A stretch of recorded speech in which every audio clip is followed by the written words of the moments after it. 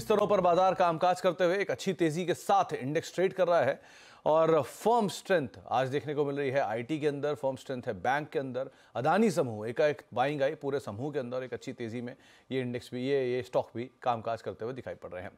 आपका भी कोई सवाल है तो आप हमारे साथ जुड़ सकते हैं seven zero four five double two double zero double zero ये हमारा व्हाट्सएप नंबर है, जिसके ज़रिए आप इस कार्यक्रम का हिस्सा बनेंगे और साथ ही साथ, गावा सर हमारे साथ मौजूद रहेंगे, उनसे आपके सवालों के जवाब दिलवाए जाएँगे। गावा सर, नमस्कार। स्वागत है आपका कार्यक्रम में। पहले तो मार्केट्स पे एक टेक आपका, क्योंकि आज बढ़िया स्ट्रेंथ लोअर लेवल से देखने को मिली है मार्केट्स में। And so far day high के आसपास है। कैसे रीड कर रहे हो आप मार्केट्स को? अच्छा लग रहा है। गुड मॉर्निंग टू यू क्योंकि गैप अप खुला लो लेवल देखे, फिर वहाँ से एक बाउंस मिला और टेक्स आउट द हाई तो अप मूव ऑन है निफ्टी फ्यूचर्स ट्रेड कर है 17153 के आसपास। मुझे लगता है अप मूव मिलना चाहिए। शायद एक जोन है 21800 वहाँ तक जाने की संभावना है। तो निफ्टी अब अच्छा लग रहा है। बैंक निफ्टी में वही हाल है। ट्रेड कर रहा है फ्यूचर्स 48000 के आसपास। मेरे ख्याल से अपू मिलना चाहिए। करीब 48200 ये एक पॉसिबिलिटी है।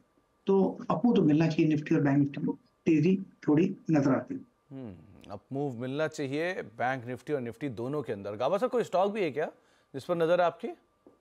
किया काफ़ी स्टॉक्स अच्छे लगते हैं मुझे। लगता है जो बेस बन रहा है हीरो मोटर्स मुझे पसंद है।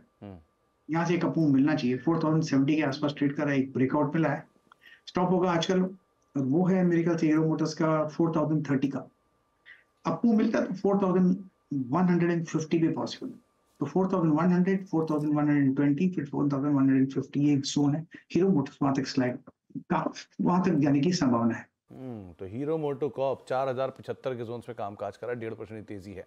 तो गावा सर, एक बार बजाज ऑटो और देख लेना आप, क्योंकि हीरो मोटो कॉप में अच्छा मूव है। बजाज ऑटो में आज वो न्यूज़ आया न्यूज़ के बाद हायर लेवल से बिकवाली आई, लेकिन हरे निशान में अभी भी है। तो यहाँ क्या करें? देखिए, काफ़ी दौड़ा है Bajaj auto from 5500 zone to 7000 zone news आया है, हम नॉर्मली कहते हैं सेल न्यूज़ बाय रूमर तो शायद वो नज़र आ रहा है यहाँ पर। हाँ बाय ग्रीन में है। लेकिन यहाँ पर लेना मेरे ख्याल से नहीं होगा। शायद प्रॉफिट बुकिंग बजाज ऑटो का पैसा शायद हीरो मोटर्स में जा रहा है। ओके okay, तो अब चलिए सवाल जवाब का सिलसिला शुरू कर लेते हैं और बातचीत कर लेते हैं अपने पहले दर्शक से। हमारे साथ भागू भाई पटेल मौजूद हैं अहमदाबाद से बातचीत करने के लिए। पटेल साहब नमस्कार। नमस्कार वाजपेयी साहब very good morning morning sir morning morning Vajpayee sir को आप मिस कर रहे हैं वो भी छुट्टी पर हैं उनसे जल्दी आपकी मुलाकात होगी। लेकिन पटेल अच्छा। साहब सवाल क्या है आपका? हाँ बस सवाल तो मेरा मैंने भेजा था वो मेरे ख्याल से एलिकॉन इंजीनियरिंग के लिए था। जी। हाँ मेरे पास 300 शेयर होल्ड होल्डिंग है Elecon engineering at the rate of twenty seven सत्ताईस खरीदारी की है। सत्ताईस रुपए में मैंने खरीदारी की हुई है। ये कब की तो, है पटेल साहब आपकी? अब मेरे ख्याल से आठ दस साल होगा शायद। बढ़िया पेशेंस आपने दिखाया और इतने समय से कभी विचार भी नहीं आया आपको बेचने का ऐसा कुछ? फंडामेंटल मुझे पता है हाँ। साहब कि फंडामेंटल कंपनी के बहुत बढ़िया है। ओके। प्रोडक्ट प्रमोटर्स एवरीथिंग तो वो सारा और मैं चालीस साल से ज़्यादा इसमें जुड़ा हुआ हूँ मार्केट में। ओके। तो कई सारे इन्वेस्टमेंट भी है। Portfolio hmm. और बहुत सारी स्क्रिप्ट भी है। ओके तो ये है बाकी बहुत सारे मीन्स अच्छे भाव से लिया तो अब पटेल साहब अब क्योंकि सत्ताईस रुपए पे शेयर है ऑलमोस्ट आपके फ्री के ही सारे शेयर हैं। सो so, फ्री के है ऐसे तो ऐसे भी 500 शेयर थे दो सौ रुपए मैंने दो सौ शेयर तो पहले मैंने मुनाफे में काफ़ी टू हंड्रेड टाइम्स या हंड्रेड टाइम्स हुआ तो मैंने निकाल दिया है और तीन सौ तो मुफ़्त के पड़े हैं अभी ऐसे तो फ्री ऑफ़ के तो अब आप क्या मानते हो स्टॉक को लेके? हम तो चले अपनी राय बाद में मेरा मेरे कुछ पता नहीं कैलकुलेशन दिमाग में जैसे ऐसे बैठता है कि शायद वो बड़ा बोनस आने वाला होगा। इसलिए इतने भाव बढ़े हैं। ओके चलिए। हाँ। सर इसका रिज़र्व रिज़र्व वगैरह काफ़ी अच्छा बढ़िया रिज़र्व है। हम्म। और फंडामेंटल्स और फर्दर ऑर्डर्स वगैरह बहुत सारी चीज़ें अच्छी लगती है। क्लास कंपनी इनफैक्ट पटेल साहब बिल्कुल सही रीडिंग है आपकी। इनफैक्ट फैबलस रीडिंग है आपकी। तो गाबा सर बढ़िया स्टॉक बढ़िया दाम पर लंबे पेशेंस के साथ ये बने हुए हैं। और कहने के लिए कुछ बहुत कुछ है नहीं क्योंकि ये खुद ही इन्होंने बहुत अच्छे से आँख रखा है इस स्टॉक को। क्या करा जाए एलिकॉन इंजीनियरिंग में इनके सवाल क्या निवेशक है उनके लिए। इनका सवाल क्या है? एलिकॉन इंजीनियरिंग पे इन्होंने सवाल एलिकॉन में बेचना है इनको या होल्ड करना है? पटेल साहब आप सुन पा रहे हो क्या? जो भी बोलेंगे ये कुछ नहीं, नहीं मुझे मुझे मुझे बेचने की तो क्योंकि मुफ़्त के शेयर है बेचने की तो कोई उम्मीद ही नहीं है। हाँ। लेकिन इसके फ्यूचर के लिए क्या कुछ बोनस वगैरह की कोई उम्मीद है या क्या लगता है आपको? निकाल देना चाहिए या बड़े पकड़ के रहना चाहिए? मुझे या तो दूसरे कन्वर्ट कर दो दूसरी अच्छी स्क्रिप्ट में तो गावा सर क्या कहते हो आप? क्या करना चाहिए ना? चार्ट स्ट्रक्चर तो बढ़िया है। होल्ड ही है और क्या? जब अच्छा स्टॉक है और पैसा अच्छा दे रहा है तो उसको गलती वाई छेड़छाड़ी क्यों करना? हम्म, इसलिए जब भी कोई करेक्शन आते हैं वो एब्जॉर्ब हो रहे हैं। तो होल्ड कीजिए बस और क्या हज़ार है साइकोलॉजिकल और ऊपर जाएगा। यहाँ पर थोड़ा रुकेगा फिर एक आपको मिलना चाहिए nothing to worry Patel sir वैसे भी ये बहुत अच्छी कंपनी है। एक समय पर टेक ओवर की बातचीत भी आई थी इसमें लेकिन ये कंपनी क्लास है अदरवाइज़ भी और आप सही कह रहे हो इसमें रिजर्व्स बहुत स्ट्रांग है। सो आप बने रहो इसमें कोई हार्म नहीं है। आपने इतना पेशेंस वैसे दिया और वैसे भी आपके पास फ्री के शेयर हैं। तो बहुत इशू नहीं है आराम से आप बने रहो और बहुत अच्छा लेसन है ये तमाम इन्वेस्टर्स के लिए जो कि अच्छे फंडामेंटल स्टॉक में इन्वेस्ट करते हैं और एक लंबे समय तक बने रहते हैं। बहुत बहुत शुक्रिया पटेल सर हमारे साथ मौजूद रहने के लिए और ये लर्निंग शेयर करने के लिए भी। आ, आगे बढ़ते हैं और गुरबख्श राय हमारे साथ मौजूद हैं चावला साहब गुरुग्राम से। चावला साहब नमस्कार। चावला साहब सुन पा रहे हैं? अच्छा पहले बताओ क्या खाना क्या है? चावला साहब आपको आवाज़ आ रही मेरी? चलिए, शायद वो दूसरी जगह कनेक्टेड है। गावा सर, इनके पास मारुति सुजुकी के शेयर हैं, करीब 12 शेयर हैं, सात हज़ार पाँच सौ साठ रुपये के। नौ हज़ार, दस हज़ार की रेंज में मारुति भी कामकाज कर रहा है प्रॉफिट में है। क्या करना चाहिए इन्हें? होल्ड करना चाहिए। बढ़िया कंपनी है। हाँ एक्सपेंशन कॉन्ट्रेक्शन होते रहेंगे। दैट्स नथिंग टू वरी लेकिन मेरे ख्याल से होल्ड करना चाहिए। पिछले दिनों हम एक व्यू- एक हज़ार के आसपास नॉर्मली बुकिंग आती है प्रॉफिट बुकिंग दस हज़ार आठ सौ भी, ग्यारह हज़ार भी चला गया और कंटिन्यू होल्डिंग इट तो बने रहिए चावला साहब। और अभी भी गावा सर को लग रहा है कि शायद एक अपसाइड इसमें और खुलता हुआ दिखाई पड़ सकता है तो आप समय दीजिए यहाँ पे बने रहिए। अमृतसर चलते हैं वहाँ पर रवि राही साहब मौजूद हैं हमारे साथ। रवि जी नमस्कार। नमस्कार सर। नमस्कार रवि जी क्या सवाल है आपका? सर मेरे पास ना मवाना शुगर के 44 शेयर है 140 के रेट पे। ओके और कितना तो समय सर अभी तो लॉस में चल रहा हूँ। कितना समय सर मैं- रवि जी? और समा सर मैं मैक्सिमम सिक्स मंथ दे सकता हूँ। ओके आ, गावा सर करीब डेढ़ सौ रुपये के आसपास मवाना शुगर के इनके पास शेयर हैं। वॉल्यूम थोड़े थिन होते हैं यहाँ पे। छियानवे सत्तानवे रुपये के जोन्स में भी ये कामकाज कर रहा है। काफ़ी प्रेशर भी हाई लेवल से आया शुगर स्पेस में। क्या करना चाहिए ना मुझे लगता है काफ़ी समय पहले लिया है। उसके बाद अटके हुए हैं। फिर हमने ना उसके बाद अस्सी का जोन भी देखा होगा। फिर एक अपू देखा है। अब होल्डिंग कीजिए। कॉस्ट के आसपास निकल जाइए और क्या। तो रवि जी फ़िलहाल तो आप बने रहो। आपको कहीं भी तेज़ी मिले आप अकॉर्डिंगली यहाँ पर अपनी रणनीति रखना। लेकिन अभी के लिए बने रहने की राय आपको दी गई है। भारत जैन हमारे साथ मौजूद हैं अजमेर से बातचीत करने के लिए अजमेर राजस्थान से। जैन साहब नमस्कार। नमस्कार सर गाबा जी नमस्कार। मैं आपका बहुत बड़ा फ्रेंड हूँ सर। गाबा जी आपको सुन भी पा रहे हैं और गाबा जी के हम भी बहुत बड़े फ़ैन हैं। तो। जैन साहब क्या सवाल है आपका? सर मेरे दो सवाल है। मेरा एक है सर मेरे पास स्नोमैन लॉजिस्टिक है सर। ये सिक्सटी एट रुपीज़ से मेरे पास पंद्रह सौ शेयर है। ओके तो मेरे को क्या करना चाहिए सर? अभी थोड़ा सा मेरे को इसमें गाइड करेंगे। चलिए और दूसरा? दूसरा सर मेरे पास आई आर एफ़ सी है। हाँ। ये मेरे पास अड़सठ रुपये ये भी अड़सठ रुपए के बैंक से है। ये दो हज़ार शेयर है। तो इसमें मेरे को क्या करना चाहिए? ओके जैन साहब स्नोमैन लॉजिस्टिक्स में करीब 55 से लेके पैंसठ के बीच में प्रमोटर ने बहुत सारे शेयर खरीदे हैं इसी ड्यूरेशन में 55 से पैंसठ के रेंज में। सो so, पहला आप सपोर्ट जो आपके लिए एक अच्छी खबर का है वो यही कि 55 से पैंसठ की रेंज में प्रमोटर ने बहुत ज़्यादा बाइंग की है। तो वो आपको नियर टर्म में एक न्यूज़ फ्लो है जो आप ध्यान रखिएगा। बाकी गावासर से मैं राय इसके ऊपर ज़रूर लेता हूँ। गावासर स्नोमैन लॉजिस्टिक्स करीब सतहत्तर रुपये के दाम पर कामकाज कर रहा है अड़सठ रुपये के दाम पर इन्होंने खरीदारी की है पंद्रह सौ शेयर इनके पास हैं। यहाँ क्या करना चाहिए? और अड़सठ रुपये के दाम पे आई भी है। इनमें क्या करना चाहिए?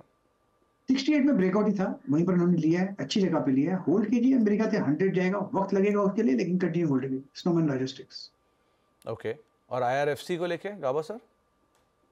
IRFC well IRFC का चार्ट भी बढ़िया लगता है काफ़ी स्ट्रेच है 100 के आसपास ट्रेड कर रहा है थोड़ा डिप मिलता है तो बाइंग अपॉर्चुनिटी मिल जाएगी लेकिन कंटिन्यू होल्ड आउट इस पर। तो जैन साहब आप दोनों में ही बने रह सकते हो सौ रुपये इसमें और वहाँ पर और थोड़ी तेज़ी रह सकती है बट एक ही चीज़ का ध्यान रखना थोड़ा समय दे सकते हैं समय लगेगा उसके हिसाब से आप कॉल लीजिएगा। देवेंद्र कोठारी हमारे साथ मौजूद हैं उदयपुर राजस्थान से बातचीत करने के लिए। कोठारी साहब नमस्कार। नमस्कार सर। नमस्कार कोठारी साहब। क्या सवाल है आपका? जी मेरे बीपीसीएल ले रखे हैं 455 की रेट पे। कितने शेयर आपके पास? दस हज़ार मुझे क्या करना चाहिए? कोठारी साहब इतनी बड़ी पोजीशन बीपीसीएल कोई खास वजह? उसकी ये क्रूड जब नीचे आ रहा ना इतना सब ग्लोबली क्रूड नीचे लग रहा है इसके लिए लिए थे। ओके और अभी आप कितना समय इसमें और दे सकते हो? दो महीने तक। दो महीने और। गावा सर बीपीसीएल के करीब दस हज़ार शेयर इनके पास हैं चार सौ पचपन रुपये के दाम पे इनकी खरीदारी है। सो फार ये तीन चार रुपये पर शेयर के प्रॉफिट में है। लेकिन ओ एम सी स्पेस वैसे भी बहुत चला है नहीं। और वैल्यू वाइज ये कंपनी वैसे भी अदरवाइज़ बेटर है। क्या करना हाँ। चाहिए? काफ़ी चला है। इनफैक्ट अगर 500 के आसपास चला जाता तो वहाँ पर प्रॉफिट बुक कर सकते हैं इसको बीपीसीएल को।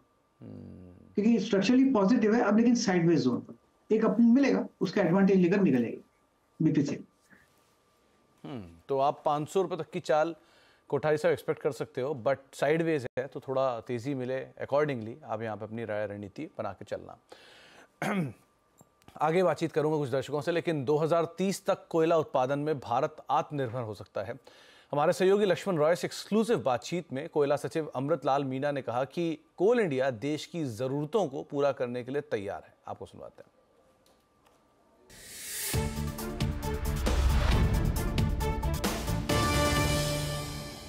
एक तरफ़ सरकार नेट ज़ीरो एमिशन की तरफ़ टारगेट कर रही है तो दूसरी तरफ़ कोयला का उत्पादन बढ़ाने पर भी ज़ोर दे रही है। ऐसे में भारत में कोयले का क्या आउटलुक रहने वाला है पूरे कोल सेक्टर का? इस पर बातचीत करने के लिए हमारे साथ हैं कोल सेक्रेटरी अमित लाल मीना साहब। सर आपका स्वागत है सीएनबीसी आवाज़ में। धन्यवाद। जो आंकड़े अब तक के आए हैं उसके मुताबिक कोल प्रोडक्शन साल दर साल बढ़ता जा रहा है। 25 दिसंबर तक के आंकड़ों के मुताबिक छह मिलियन टन के आसपास कोयला का उत्पादन हो चुका है। तो करंट फाइनेंशियल ईयर में दो तीन महीने और बचे हुए हैं। तो इस फाइनेंशियल का क्या टारगेट है और कोल प्रोडक्शन कहाँ तक ले जाने का आप लोगों ने रोड मैप तैयार किया है? इस वर्ष का जो लक्ष्य रखा गया है वो 1012 मिलियन टन का रखा गया है।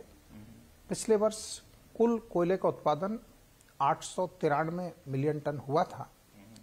अभी तक की जो वृद्धि चल रही है वो लगभग 12 प्रतिशत से अधिक है और ये वृद्धि सतत जारी रहेगी। कोल प्रोडक्शन की बात करें तो अब तक जो आप बारह परसेंट का ग्रोथ रेट देख रहे हैं इसमें कोल इंडिया सबसे बड़ी पीएसयूज हैं जो कोल का प्रोडक्शन करती है। उनका योगदान कितना है? कोल इंडिया का प्रोडक्शन ग्रोथ पिछले नौ महीने का भी लगभग 11 प्रतिशत से अधिक है। और कैप्टिव एंड कॉमर्शियल माइन से जो प्रोडक्शन है वो करीब 22 प्रतिशत की वृद्धि दर है। हम्म, तो ये करंट फाइनेंशियल ईयर में ये 22 परसेंट के आसपास रहेगा? हाँ। इससे ज़्यादा ही रहेगा। आने वाले जो दो तीन महीने हैं इसमें और वृद्धि दर बढ़ेगी। जो कोल कोयले का प्रोडक्शन एक लॉन्ग टर्म स्ट्रेटजी के तहत किया जाता था। अगले चार साल पाँच साल या फिर 2030 तक का कोई टारगेट रखा आपने कोयला प्रोडक्शन करने का? हाँ हमारा पूरा अध्ययन है कि हमारी कोयले की आवश्यकता कैसे कैसे साल दर साल बढ़ेगी। 2030 का लक्ष्य है लगभग 1.5 बिलियन टन कोयले की आवश्यकता होगी। तो उस हिसाब से प्रोडक्शन की तैयारी है और उतना जितना देश में ज़रूरत होगी जिस ग्रेड का कोल अपने देश में उपलब्ध है उसकी जितनी आवश्यकता होगी उसकी पूर्ति हो जाएगी। 2030 तक क्या हम ये मान के चलें कोयला सेक्टर में आत्मनिर्भर हम हो जाएँगे?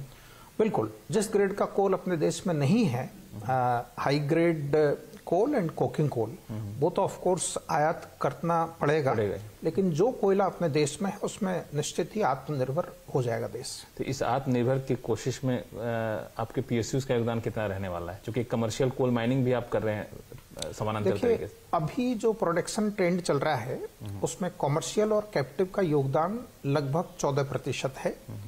2030 तक ये योगदान बढ़कर 20 प्रतिशत से ज़्यादा हो जाएगा टोटल प्रोडक्शन में।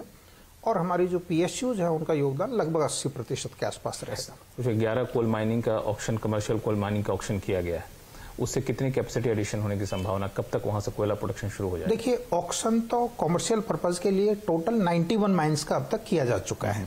और 91 में से लगभग 11 माइंस ऐसी हैं जो प्रोडक्शन में आ चुकी हैं। और इन प्रोडक्शन में जो माइंस आई है इसके अलावा कैप्टिव भी माइंस है जो पूर्व से प्रोडक्शन में चल रही है। लास्ट ईयर इनका कंट्रीब्यूशन 115 मिलियन टन था। इस बार इनका जो कंट्रीब्यूशन है टारगेट तो एक सौ बासठ मिलियन टन का है। लेकिन अभी तक की जो प्रगति है, उससे लगता है कि 150 मिलियन टन के आसपास की लक्ष्य के विरुद्ध उपलब्धि हो सके। एक कोल बियरिंग लैंड को लेकर के एक एक्ट बनाया गया था, उसके तहत गाइडलाइन भी आई थी। तो उसके तहत लैंड एक्वायर करने की प्रक्रिया शुरू की गई थी कोल इंडिया उसकी सब्सिडी के ज़रिए। तो वो लैंड एक्वायर करने की प्रक्रिया कहाँ तक पहुँची और जो लैंड एक्वायर किया जाएगा उसको यूटिलाइज कैसे किया जाए? क्या लैंड मोनिटाइजेशन पॉलिसी का हिस्सा होगा या फिर कोल इंडिया अपने तौर तरीके से उसे यूटिलाइज करेगी? नहीं इसमें मैं ये स्पष्ट जानकारी देना चाहूँगा कि कोल बियरिंग एरियाज़ एक्ट मूल एक्ट है 1956 का, जिसके अंतर्गत जिस भूमि के अंदर में कोयला है, उस भूमि का अधिग्रहण होता है। भारत सरकार अधिग्रहण करती है और उसको मैनेजमेंट के लिए कोल कंपनीज़ को दिया जाता है।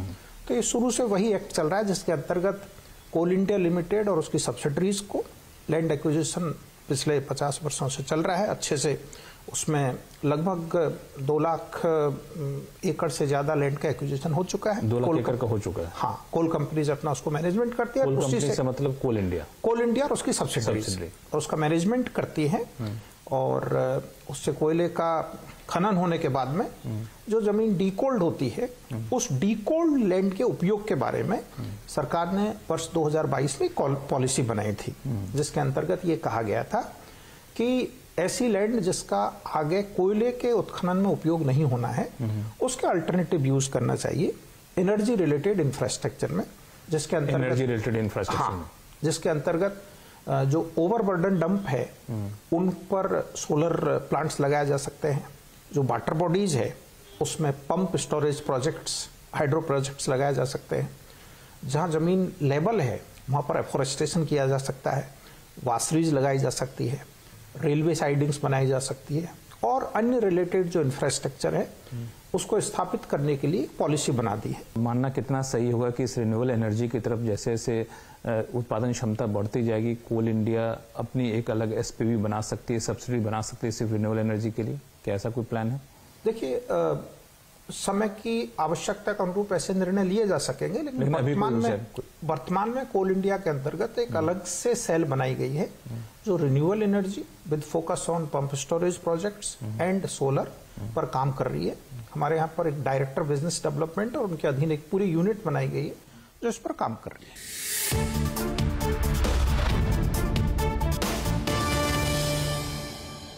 तो आप सुन रहे थे कोल सचिव को और ख़ास तौर से वो कोल जो कि मेजरली मौजूद नहीं है इंडिया में, वो इंपोर्ट होंगे, लेकिन बाकी सब के लिए सक्षम रहेगा। तो भाई कोल इंडिया का स्टॉक चला लेकर आए क्योंकि रिसेंटली बहुत स्ट्रॉन्ग परफॉर्मेंस के बाद भले ही रेंज बाउंड ट्रेड कर रहा है, लेकिन जो आउटलुक है स्पेस को लेकर वो काफ़ी पॉजिटिव है। डे हाई के आसपास कोल इंडिया सोफार कामकाज करते हुए गाबा सर, डेढ़ परसेंट की तेज़ी कोल इंडिया में, तीन सौ छियासी सत्तासी पे कामकाज कर रहा है। क्या करना चाहिए यहाँ पे? होल्ड करना चाहिए किसी के पास है 386 पे ट्रेड कर रहा है अप मूव ऑन है 395 400 एक जोन है, वहाँ तक जाना चाहिए। तो बाय मोड पर है कोल इंडिया हम्म तो बाय मोड पर कोल इंडिया के ऊपर आप नज़र रखेंगे। अच्छा अब कुछ सवाल जो है वो सोशल मीडिया के ज़रिए भी आए हैं, जरा उनके ऊपर, उनको भी एड्रेस कर लेते हैं कौन कौन से सवाल हैं। गावा सर, पहला सवाल, मनोज जी का है ये दिल्ली से हैं, इनके पास 500 शेयर है टीवीएस मोटर्स के 2050 के लिए। लॉन्ग टर्म का व्यू है, दो महीने ये लॉन्ग टर्म व्यू है लेकिन दो महीने मैक्स होल्ड कर सकते हैं। क्या करना चाहिए? ये गलत हो कि हम दो महीने मैक्सिमम कर दें। पैसे की ज़रूरत है तो ठीक है लेकिन मेरे ख्याल से टीवीएस मोटर अच्छा है। लॉन्ग थोड़ा स्ट्रेच है लेकिन आपको मिलना चाहिए इसमें। बिल्कुल होल्ड करना चाहिए। और आज तो बजाज ऑटो और हीरो मोटर भी अच्छे लग रहे हैं तो फिर टीवीएस मोटर तो बिल्कुल होल्ड करना चाहिए। ओके गिरिराज सिंह साहब का सवाल है इनके पास एलएनटी की करीब 3620 की कॉल है और एनटीपीसी की 307 की पुट है। क्या करना चाहिए इन दोनों में? एल अपमू ऑन है। अच्छा चल रहा है यहाँ पर। 3500 शायद तीन हज़ार छह सौ भी देखेंगे। न्यू हाई पर बना था आज। तो न्यू हाई पर चल रहा है। एलएनटी तो I think it's a hold और दूसरा कौन सा बताया इन्होंने? एनटीपीसी की 307 की पुट 360 की पुट है। यहाँ पर देना पुट होना नहीं चाहिए क्योंकि अभी भी इसमें स्ट्रेंथ है। तो मेरे ख्याल से अवॉइड होना चाहिए इसमें एग्जिट होना चाहिए। ओके मयंक सर्राफ साहब का सवाल है इनके पास पाँच हज़ार शेयर डीसीएम शेराम के हैं। दो साल का नज़रिया है और ऐड करना चाहते हैं। क्या करना चाहिए ना डीसीएम श्रीराम में चार्ट निकाल लेता हूँ। डीसीएम श्रीराम इंडस्ट्रीज़ की बात DCM Shriram industries well hold करना चाहिए यहाँ पर। 1057 है स्ट्रक्चर पॉजिटिव है 1200 पॉसिबल है डीसीएम शेयर ओके एक अंजलि बत्रा जी का सवाल है इनके पास एपिक्स के शेयर है। आई थिंक एपिक्स फ्रोजन की ये बात कर रही हैं। इनके पास एपिक्स फ्रोजन के शेयर हैं। तीन सौ के दाम पर दो साल से होल्ड कर रही हैं। क्या करना चाहिए इन्हें?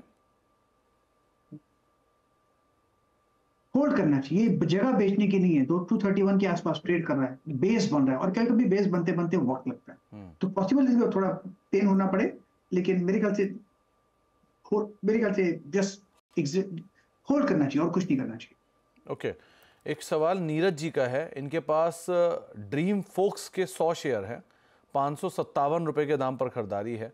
अगस्त में फंस गए थे जब ये बहुत ज़्यादा गिरा था। अब ये इनके प्राइस पर आया तो ये सवाल पूछ रहे हैं कि क्या अब निकल जाना चाहिए या अभी बने रहना चाहिए ना मतलब बड़े रहना चाहिए क्योंकि अभी लगता है लो लेवल से अच्छा बाउंस मिला है ड्रीम फोक्स में 540 स्ट्रॉन्ग सपोर्ट जोन है अपसाइड 600 650 पॉसिबल है। तो मेरे ख्याल से होल्ड ही करना चाहिए। चलिए एक मंजुषा जी का सवाल आया है। इनके पास जॉनसन हिताची के 10 शेयर हैं बारह सौ रुपए के दाम पर। बहुत समय से अंडर परफॉर्म कर भी रहा है। क्या करना चाहिए इन्हें? ये छह महीने और दे सकती हैं इसको। Johnson Hitachi Johnson control Hitachi check check कर लेता हूँ मैं इसको निकल जाता है तो। जॉनसन फर्मा है जॉनसन हिताची नहीं मिल रहा है मेरे पास। गावा से इसका जो कोड है वो है five two double three nine eight B S C का। Five two double three nine eight J C H A C इसका नाम। है जी। मेरे ख्याल से होल्ड करना चाहिए। ये जगह बाय करने की है और लॉन्ग टर्म होल्ड करना चाहिए। अपू मिलना चाहिए। जॉनसन ने ट्रेड करा है ट्वेल्व सिक्सटी सिक्स अगर अपू मिले तो पंद्रह सौ भी जा सकता है Johnson Hitachi hmm. Rohit Agarwal साहब पूछ रहे हैं इनके पास टाटा कंज्यूमर के 50 शेयर है नौ रुपए के दाम पर इनकी खरीदारी है। ये कहाँ प्रॉफिट बुक कर सकते हैं अपसाइड में? और कोई स्टॉप लॉस जो आप सुझा पाए ना। ग्यारह सौ का स्टॉप लगाकर चेस कीजिए। अब कहाँ तक ऊपर जाता है कहना मुश्किल है लेकिन मेरे ख्याल से अप ट्रेंड स्टिल इंटैक्ट है। अपमू ऑन है होल्ड कीजिए चेस कीजिए इसको ग्यारह सौ का स्टॉप लगाकर टर्न भी हो गया तो भी मुनाफा मिलेगा इनको। टाटा कंज्यूमर बिदेश्वर पॉल साहब का सवाल है इनके पास। इनफैक्ट ये पूछ रहे हैं कि पॉली कैब में एंटर करना चाह रहे हैं। कौन से लेवल्स सही रहेंगे अगर ये एंटर करना चाहें तो? पॉली कैब ऐसा स्टॉक है बहुत अच्छा स्टॉक है लेकिन जब डिप मिलती है तब खरीदना चाहिए। आज पिछले दिनों हम देख रहे हैं कि थोड़ी गिरावट आ रही है इसमें फाइव ज़ीरो सेवन सेवन पर ट्रेड कर है। बहुत अच्छी जगह बाय करने की या एड करने की जगह है। वो है फोर थाउज़ेंड सिक्स हंड्रेड मैं नहीं कहता कि चार हज़ार छह सौ आएगा लेकिन चार हज़ार छह सौ में अगर आता है तो वहाँ पर एक सपोर्ट मिलना चाहिए। तो फ़िलहाल होल्ड कीजिए डिसीज़न और बाय कीजिएगा ज़रूर at a later date Hemant Kumar Arora साहब का सवाल है एबी कैपिटल पर। करीब 2000 शेयर हैं एक रुपए के दाम पर खरीदारी की हुई है इन्होंने। छोटी अवधि के लिए पूछ रहे हैं कि इसमें क्या करना चाहिए? इनकी खरीदारी के आसपास ही है अभी। जी हाँ होल्ड करना चाहिए। अभी फ़िलहाल ही में इन्होंने लिया है। इनको स्टॉप लगाना पड़ेगा और लगाना है तो 172 का और कंटिन्यू होल्डिंग है 200 का जोन मिलता है तो उसके आसपास प्रॉफिट बुक कर सकते हैं। गौरव सेठी साहब पूछ रहे हैं इनके पास आ, सोना कॉमस्टार के 180 शेयर हैं पाँच रुपए के दाम पर और बीएलएस के 50 शेयर हैं दो सौ रुपए के दाम पर। क्या करना चाहिए? तो मेरे ख्याल से होल्ड करना चाहिए। बढ़िया स्ट्रक्चर है बहुत अच्छा बेस बना है 540 550 के आसपास ट्रेड कर रहा है 641 पर। अब वो मिलना चाहिए 720 780 ये एक पॉसिबिलिटी है वहाँ तक जाना चाहिए। और दूसरा कौन था? B A L L S B L S international B L F international कोशिश करता हूँ निकालने की। बी एल एफ़ इंटरनेशनल नहीं मिल रहा मुझे। Five four double zero seven three code है इसका काबा sir. Five four double zero seven three B L S Appu on है इसमें। तीन सौ साठ पे ट्रेड कर है। थोड़ा स्ट्रेच है लेकिन अपू मिलना चाहिए इसमें। फाइव थ्री फिफ्टी का स्टॉप लगा। कंटिन्यू चेसेंगे चार सौ भी जा सकता है। हु नोस तो continue holding B L S ji. इसके अलावा आ, कुछ और सवालों में एक सवाल आया है हिमाद्री केमिकल पर प्रसन्ना जी का। इनके पास 800 शेयर है तिरतालीस रुपए के दाम पर। क्या करना चाहिए इन्हें? दो साल का प्रोस्पेक्ट है। हिमाद्री कैपिटल मतलब एच का होगा मेरे ख्याल से या हिमाद्री। वही है? या 391 पर ट्रेड कर रहा है बिल्कुल। कंटिन्यू होल्ड करेंगे 400 तक जाएगा मेरे ख्याल से। आपको मिलना चाहिए बाई मोड पर है। जब भी डिप्स मिलती है इसमें खरीदारी का मौका बन जाता है। तो it's buy on dip stock okay okay, जाने से पहले आखिरी सवाल अमित जी का है बीएससी लिमिटेड के शेयर इनके पास तेईस सौ रुपए के दाम पर सौ शेयर हैं क्या करें? इससे थोड़ा वक्त लगेगा निकालने में क्योंकि ये बीएससी बीएससी में लिस्ट नहीं होता और इसको मनी कंट्रोल में देखना पड़ता है मुझे। तो आई थिंक मुझे निकालने में थोड़ा वक्त लगेगा। जी। नहीं नहीं निकल चलिए तो इस पर हम किसी और दिन टिप्पणी लेंगे। लेकिन बहुत बहुत शुक्रिया गावा सर हमारे साथ मौजूद रहने के लिए सभी शेयरों पर अपनी राय रणनीति रखने के लिए। बता दें कि मनी कंट्रोल पर दिए गए विचार एक्सपर्ट्स के अपने निजी विचार होते हैं। वेबसाइट या मैनेजमेंट इसके लिए उत्तरदायी नहीं है। यूज़र्स को मनी कंट्रोल की सलाह है कि कोई भी निवेश निर्णय लेने से पहले सर्टिफाइड एक्सपर्ट की सलाह लें।